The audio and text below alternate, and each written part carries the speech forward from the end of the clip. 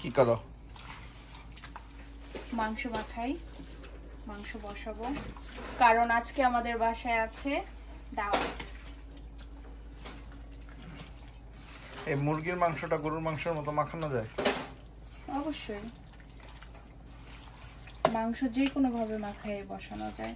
কষায় বসানো যায় হাতে মাখায় বসানো যায় পেঁয়াজ ভেজে হাতে মাখায় বসানো যায় আবার রান্না করে বাগার দেওয়া যায়।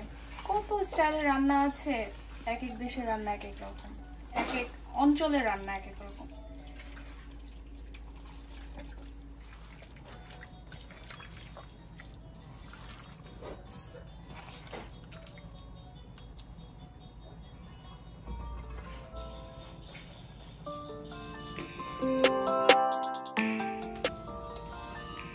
হাই এভরিওয়ান, আসসালামু আলাইকুম, welcome back to my channel. আশা করছি সবাই অনেক ভালো আছেন। আলহামদুলিল্লাহ, আপনাদের সবার দোয়ায়, ভালোবাসায়, আল্লাহর অশেষ রহমতে আমরাও ভালো আছি। আজকে হলো সেপ্টেম্বরের বাইশ তারিখ, শুক্রবার, আর এখন বাজে দুপুর বারোটা বারো। আজকে সকালবেলা ঘুম থেকে উঠেই রান্না বান্নার সব কাজ শুরু করে দিছি। কারণ আজকে আমরা যাই কাজ করব, সব একদম শুরুর থেকে পেঁয়াজ কাটা, মরিচ কাটা, ধোয়া ধুই সব সাধারণত আমাদের বাসায় দাওয়াত থাকলে আমি আগের থেকেই একটু একটু করে রেডি করে রাখি। কিন্তু যেহেতু লাস্ট উইকে আমার কাজ ছিল সেই জন্য কোনো কিছুই করে রাখতে পারি নাই। তাই আজকে করব। এটা কি? পাপা! আসসালামু আলাইকুম। আসসালামু আলাইকুম। সবাই কেমন আছেন? আমার জন্য দোয়া করবেন।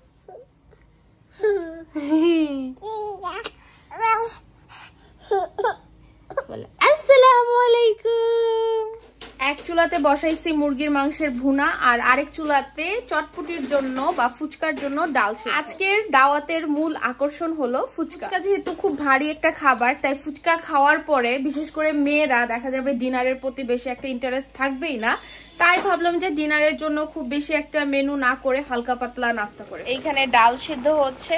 ডালের সাথে এখানে আমি কিছু আলুও দিয়ে দিছি সেদ্ধ হওয়ার আর এই চুলাতে তো মুরগি হচ্ছে।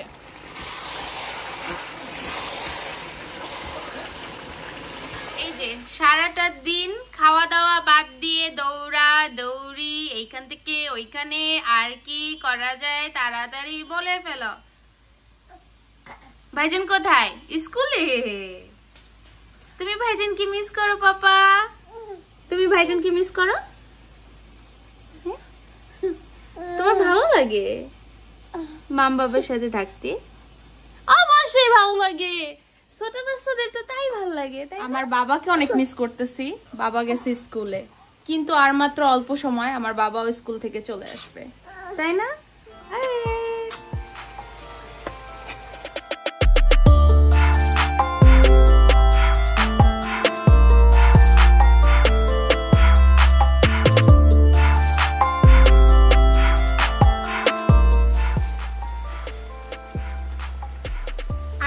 চিকেনটা আমি একটু অন্য স্টাইলে রান্না করব। রেগুলারলি যেভাবে রান্না করি, তার থেকে একটু অন্যরকম। চিকেনটা হচ্ছে ঢাকনা ছাড়া কষাচ্ছি। চিকেনটা একদিকে হতে থাক আর অন্যদিকে আমি একটু আজকে ডেজার্টের জন্য ঘরেই মিষ্টি মিষ্টিটা আমি নিউ ইয়র্কে থাকতে প্রচুর বানাইতাম মাঝে মাঝে কিন্তু অনেক দিন ধরে বানানো হয় না কারণ দেখা যায় যে মিষ্টি বানালেই খাওয়া হয় ফেলে দেওয়া তো আর যায় না আর খেলে হয় শরীরের ক্ষতি। আজকে যেহেতু সবাই আসবে সেই উসিলা করে আমরাও একটু খেয়ে ফেলব তো সেই জন্যই আমি এখানে সবার প্রথমে রান্না শুরু করার আগে একটু ছানা তৈরি করে রাখছি। ছানাটা তৈরি করে আমি এরকম ন্যাপকিন দিয়ে মুড়ায় রাখছি যাতে করে এক্সট্রা পানি সব ন্যাপকিনে শুষে নেয়। ছানাগুলা সুন্দর মতো পানি ঝরে গেছে, আর এই ছানাটা আমি তৈরি করছি হলো টক দই দিয়ে। টক দই দিয়ে ছানা তৈরি করলে ছানার পরিমাণও বেশি হয়, আর ছানাটা খেতেও অনেক বেশি ভালো লাগে। একদম ঝরঝরা হয়ে গেছে পানি বের হয়ে।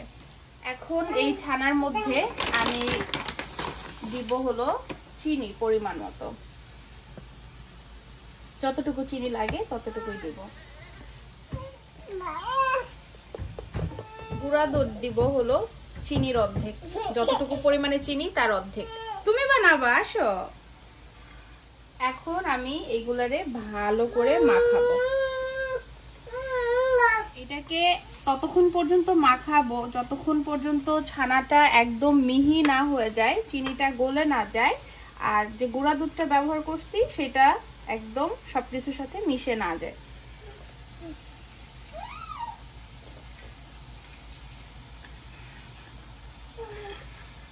এটাকে অনেক করে এরকম এই ছানাটাকে এরকম পিষে পিষে মাখাইতে হবে।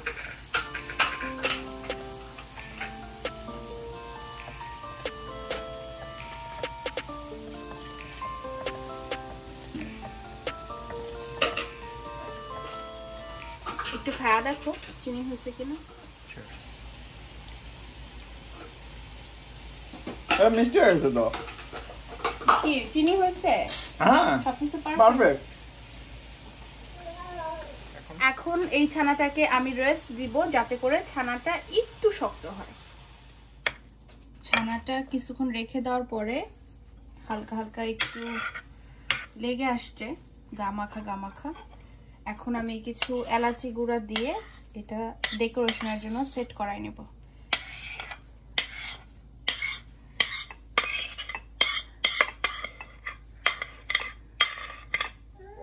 চারিদিকে সমান করে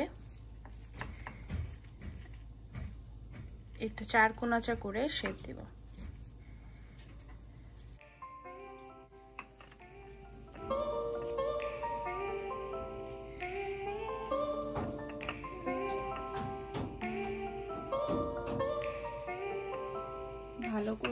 প্লাস্টিক দিয়ে ঢেকে রাখব।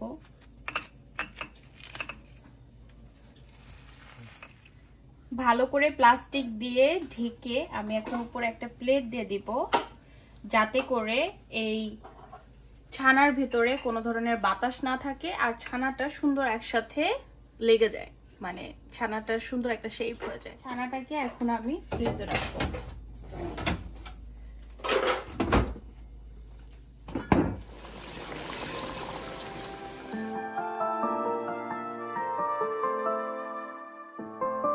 আর এদিকে আমার মুরগির মাংসটাও রান্না করা শেষ। মুরগির মাংস অনেক সুন্দর হয়েছে আমার। খুবই সুন্দর কালার হয়েছে। মুরগির মাংস সবসময় সুন্দর করে রান্নার একটা ওয়ে হইল। মুরগির মাংস অনেক কষাইতে হবে অনেক সময় ধরে কষাইতে হবে। যে কোনো রান্নাই যত কষানো হয় তত মজা তবে মুরগির মাংসটা বিশেষ করে একটু বেশি কষাইলে বেশি মজা লাগে। ডাল আর আলু সেদ্ধ করাও শেষ।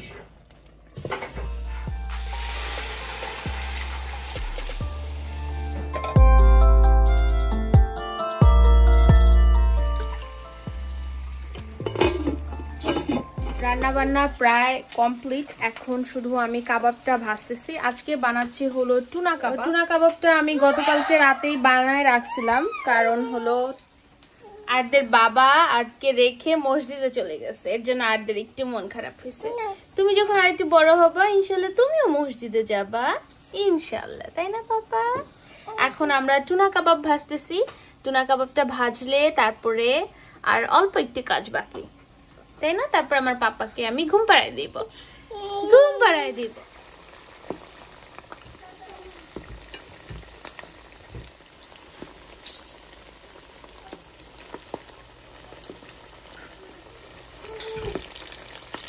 কাবাবটা আমি অনেক ভয় ভয় ভাসতেছিলাম, কারণ সব সময় টুনা কাবাব আমি ব্রেড কাম কোট করে বানাই, কিন্তু আজকে সেটা করি নাই। ভাবলাম যে রেগুলার কাবাবের মতো ট্রাই করে দেখি হয় কিনা। যেহেতু এখানে আলু দেওয়া, আমি ভাবছিলাম যে সাইড দিয়ে ছুটে ছুটে আসবে, কিন্তু আলহামদুলিল্লাহ কোনোটাই ছুটে আসতেছে না, সুন্দরভাবেই ভাজা হচ্ছে।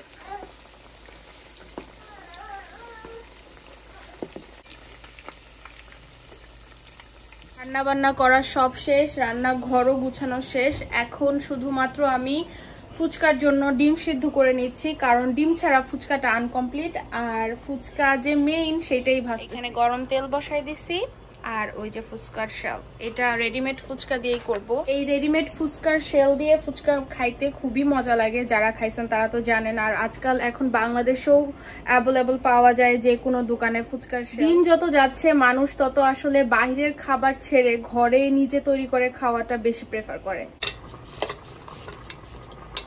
এই ফুচকার সাথে এখানে একটা পানি বানানোর জন্য কিছু মশলা দেয় কিন্তু এই মশলাটা একদমই মজা না। এটা দিয়ে পানি বানালে একদমই ভালো এখানে আমি আলাদা করে তেঁতুলের টক বানায় রাখছি, তার সাথে আরও পানি মিক্স করব।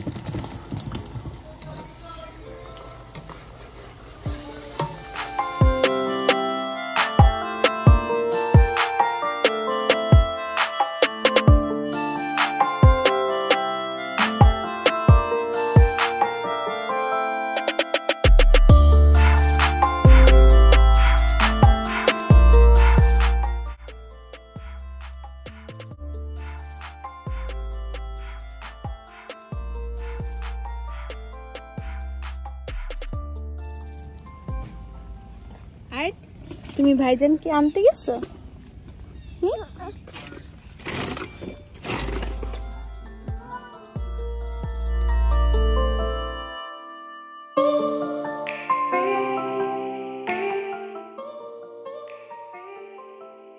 বাবা ঘুম হয়েছে বাবা?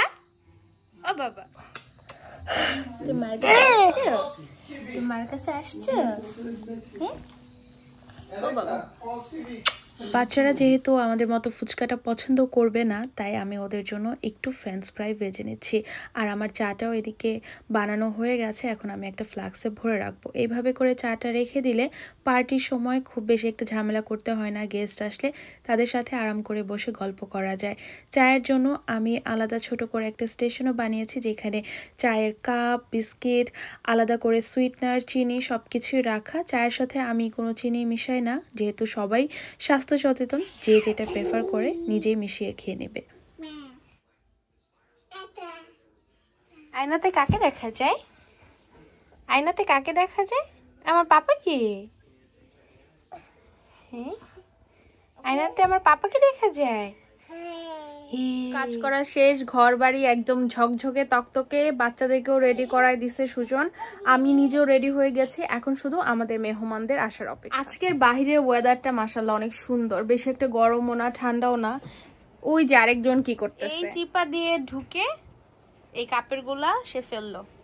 তুলে রাখো মা আসো আমরা তুলে রাখি। তো এগুলো তো তোমার কাপড়। হ্যাঁ এগুলো এখানে তুলে রাখি তুমি এখানে আসা। হ্যাঁ তুমি বোকা ছিলে? এদিকে আছে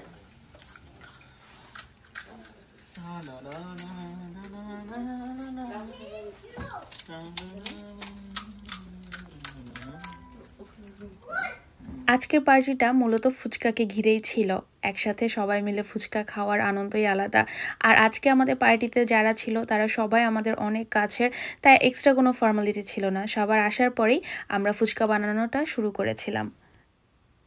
ফুচকা খাওয়াটা তো আর উসিলা। সবাই মিলে একসাথে হওয়া, গল্প করব, সেটাই মেন কারণ ছিল।